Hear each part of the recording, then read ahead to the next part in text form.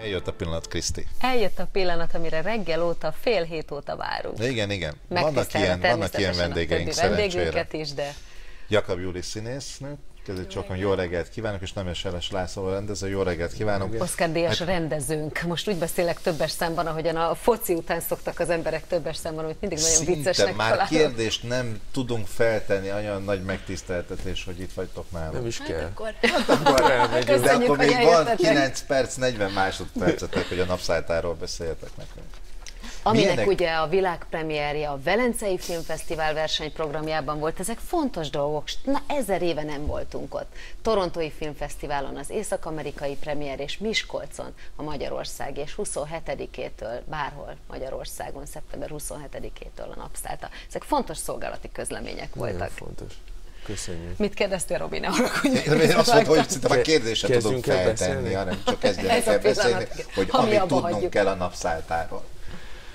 Hát ez egy a 20. század elején, az első világháború előtt játszódó film, Iris története, aki itt ül mellettem, és, és ez egy kalapos lány, kalapokat készít, és a szülei, akik már meghaltak, az ő kalapboltjukba próbál elhelyezkedni, de nem akarják felvenni, nem tudja, hogy miért, és aztán kiderül, hogy van egy bátyja valahol a városban, akiről nem tudott, és, és ez egy veszélyes alak, és megpróbálja őt ö, ö, megtalálni.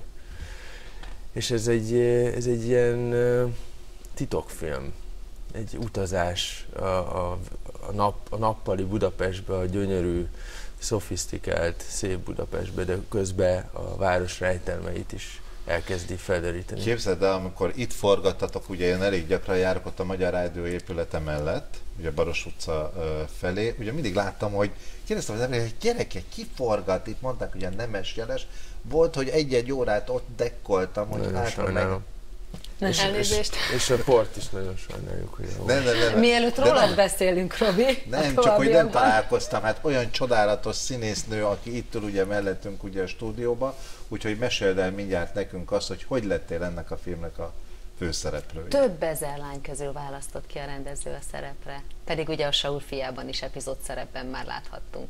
Meg Igen. ugye rengeteg más filmben is. Igen, azóta is nagyon meg vagyok hatva miatt. Um, ez, ez egyáltalán nem volt ennyire evidens, hogy a Saul fia után közvetlenül át, átugrottam csak a napszálltába. Én nagyon szerettem volna Lászlóval dolgozni, ez jó élmény volt nagyon, az az egy, összesen egy nap, amit a Saul fiában dolgoztam, és ők is kíváncsiak voltak rám, úgyhogy elhívtak a castingra, rengeteg másik színésszel és színésznővel együtt, és aztán egy röpke tíz hónapos szereplőválogatás végén döntött úgy László, erről nyilván inkább ő tud beszélni, hogy miért hogy alakult így. Az nem lehet kis nyomás, hogy legalábbis a sajtó így fogalmaz, de hát egy sajtótájékoztatóról tőled idéznek, hogy világsztárt akar csinálni Nemes Jeles László Jakab Júliából. Mondjam, hogy ez mit jelenti igazából? Jó. Ez azt jelenti, hogy, hogy nekem az volt, a, a, azt akartam, hogy, hogy felfigyeljenek egy, egy fiatal magyar nőre, akit, a, a, aki eljátsza ezt a figurát, és nekem ez volt a, a, a legfontosabb, hogy, hogy és, és szerintem e, felfigyeltek rá, tehát ez biztos, hogy, hogy sokat, sokat, sokat írtak róla.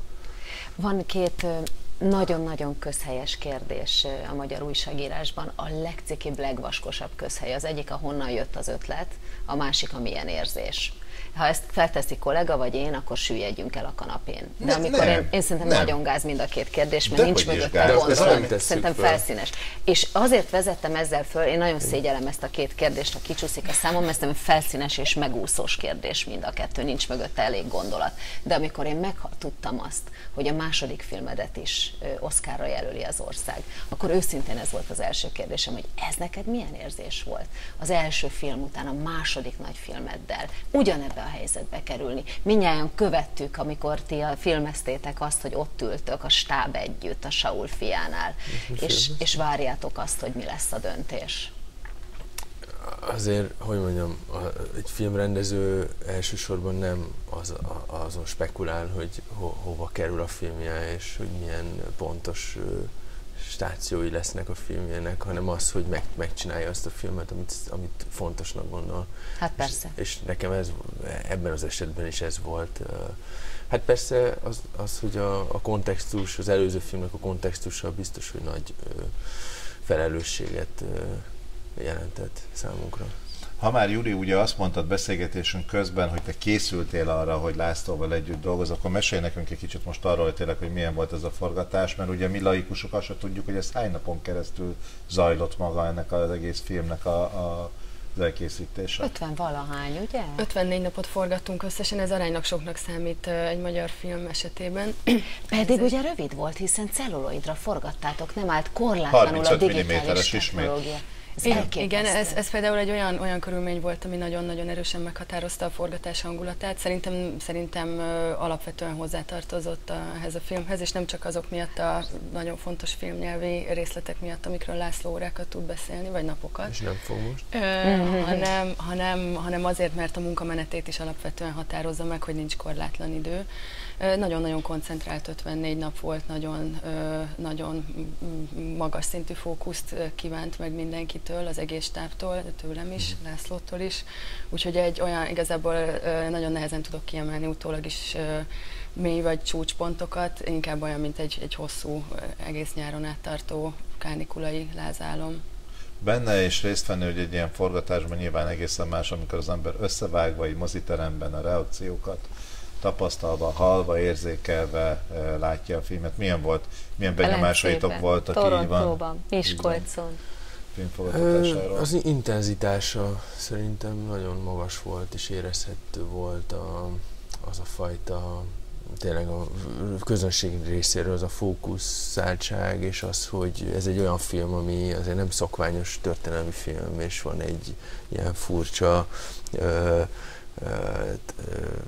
kalandszerűsége, és, és nagyon tehát, hogy ez egy, ez egy különleges utazás szerintem, és ezért, ezért nem feltétlenül vannak az emberek hozzászokva az ilyenhez, és, és emiatt e, e, emiatt nem pont a komfortzónájukban találja őket ez a film, vagy megpróbál ezzel valamit kezdeni, hogy nem, nem egy szokványos képeslapfilm, és nekik ez, nekik szerintem ez nagyon érdekes, és azt hiszem, hogy a mozi, a filmművészet erről is szól, hogy, hogy új, új, új kalandokat próbálunk, új utazásokat próbálunk kitalálni. Az a helyzet, hogy órákig, hát hogy te is mondtad, vagy akár napokig tudnánk beszélni ugye erről a filmről, meg a, ez a készítéséről, de nagyon lejárt az ideje a beszélgetésünknek. De már most előre gratulálunk, és köszönjük. nagyon sok sikert kívánunk természetesen a filmnek, és hányadikától tudjuk megnézni? 27-től, bárhol Magyarországon napszálltal. Menjenek nézni. Holnap. Holnap után van holnap. már? Ó, hát ez már itt holnap. Nevezzük holnap. Holnap, holnap, holnap kertek alatt.